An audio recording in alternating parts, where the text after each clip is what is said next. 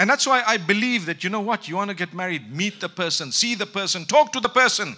It's no longer like it was before, where everyone had an uncontaminated upbringing waiting for their person of marriage. And then when you come up, you're so clean and pure to go, good to go. You're not contaminated by the social media of the world because it didn't exist. The word social media was non existent. So it worked. It worked because you know what? People grew up, boys and girls grew up, and they, were, they grew up with the qualities required for someone to get married to them. And when they when they grew up, no matter what, it would work because even if your father or mother, like what happened to me, and they said, you know what, we suggest you marry this person. You sure? If that makes you happy, I'm gonna do it. That's it. That's what I said. That's what I said. Such a good boy. Wouldn't you like to have a son like me, guys? I regret having said that, man. In the sense that I should have said, no problem, let's consider it. MashaAllah, well done. Let's meet, let's talk. Let's. It could have, I could have avoided uh, uh, things that may have happened later on in my life that I regretted. But it's okay. It's okay. Allah wanted something.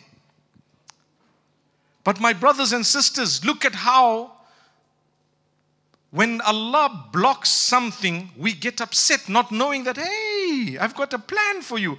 Do you know this person? I'm talking of today, right? You're madly in love with them because that's one crisis is we already more than married to someone without the nikah and now we want to halalize it with our fathers and mothers. That's it. That's it. I'm coming in and telling my dad, you know, dad, and dad says, I know. Do you have someone in mind? Yes. Tell him the truth. I don't have him in mind, I have him on my bed. Astaghfirullah. That's what's happening. Tell him the truth. It's a fact of life. That's how far we've gotten. There's no point in being ashamed of what's happening in the sense that to talk about it. But we are sad that that's a it's a reality. I know I deal with young boys and girls. Many of them way beyond what you would do as a husband and wife. And then they're saying, Can I get married to him? Hey, you should have come and said this five years ago, man. Five years ago. And don't be ashamed. Tell him exactly what waters you're in.